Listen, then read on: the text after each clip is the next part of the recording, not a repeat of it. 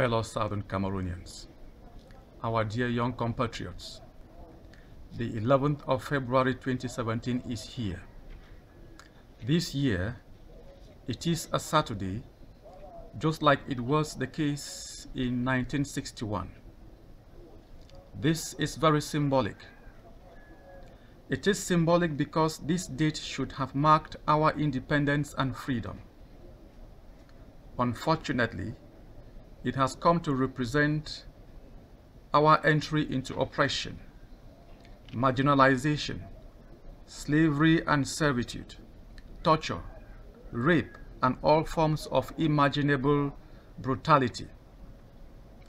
It is for these reasons we should find no pleasure in celebrating this date, mischievously named the Youth Day.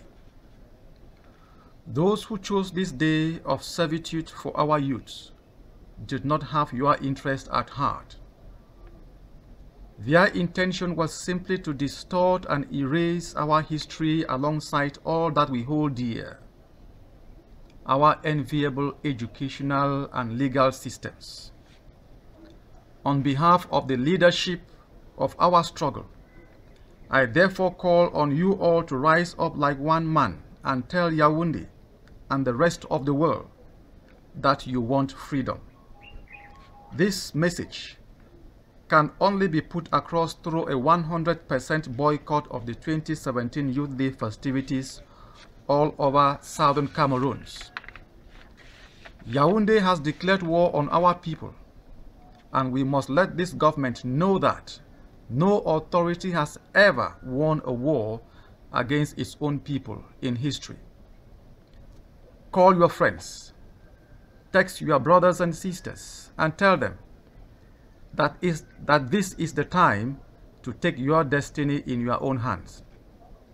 We hereby express sincere thanks to our compatriots in the diaspora for the protest marches organized in all the major cities of the world this Friday. Their contribution is invaluable and history is taking note. We also extend a word of encouragement to our leaders and all others abducted and illegally jailed in the course of this struggle. By this resounding boycott, you will also be telling your leaders and all those who are locked up that we will not let them down. We condemn with our last energy the ongoing violence and killings in Ndop perpetrated by government forces whose duty should rather be to protect the people.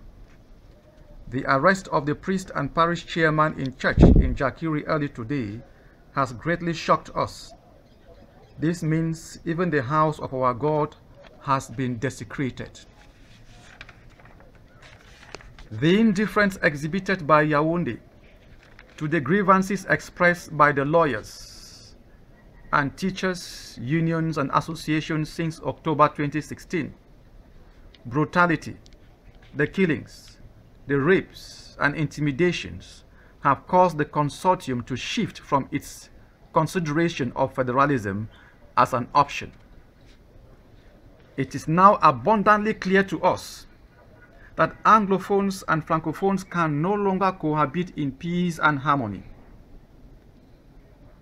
by no force of ours, but by the deliberate and wicked machinations of the government. Therefore, the resolute march for the total restoration of southern Cameroons is hereby declared. Dear people, dear youth, as true as God is on the throne, it will not take long, and we shall be home. God is with us.